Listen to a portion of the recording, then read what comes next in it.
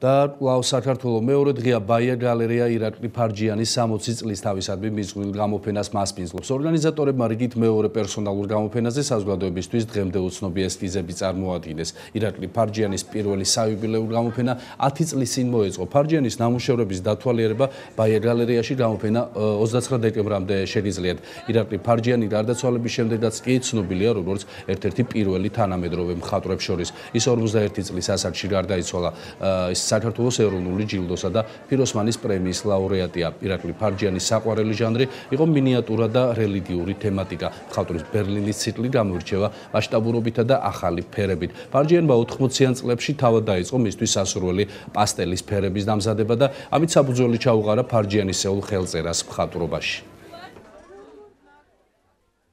წელს არის ირაკლის საიუბილეო წელიწადი.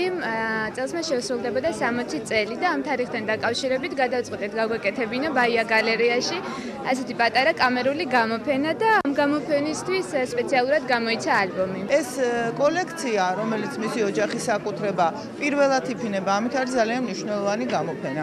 ეს ის მხატვარია, რომლის გამოფენა წელიწადში ერთხელ კი არა, ორჯერ სამჯერ მაინც უნდა გაკეთდეს და მით უმეტეს უცნობი მასალები